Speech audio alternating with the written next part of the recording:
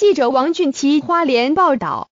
中秋节将至，花莲县黎明身心障碍者庇护工厂连续两年中秋订单惨淡，去年因订单较以往下降四成，二十六名身心障碍员工苦撑一年营运才勉强过关。未料今年订单截至目前也仅有十一张，让督导十分紧张，堪忧支撑庇护工厂的经费来源恐断炊。再过一个月就是中秋节。各大超商强推月饼礼盒预购，全台多间知名糕饼店也开始行销热卖商品，抢攻月饼市场。花莲以牛轧饼打响网络团购热潮的黎明身心障碍者庇护工厂，今年同样推出多款客制化礼盒，但似乎买气不如往年。黎明月饼礼盒前一年贩售金额约达二百多万元，尚可维持整体工厂营运。去年订单却降了四成多，让原本有三十多名身障员的庇护工厂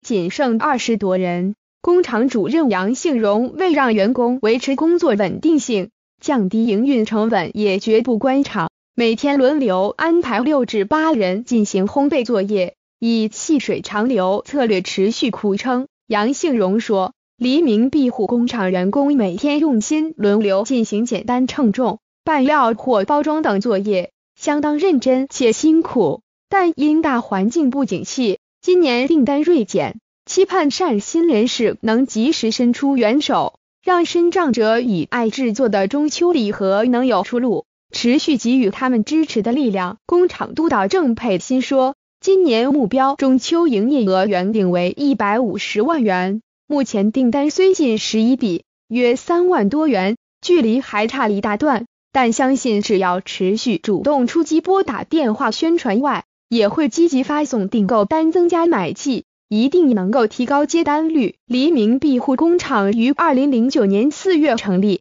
是花莲县首间庇护工厂，生产各式礼盒内容物，包括超夯团购人气的牛轧饼、凤梨酥、手工饼钱、蛋黄酥及小月饼等，都由身心障碍员工用心制作。民众若有购买意愿，可至官网订购：http www 点 newdawn dot org twd 或洽电洽零三八千四百六十万零五千二百七十五郑小姐。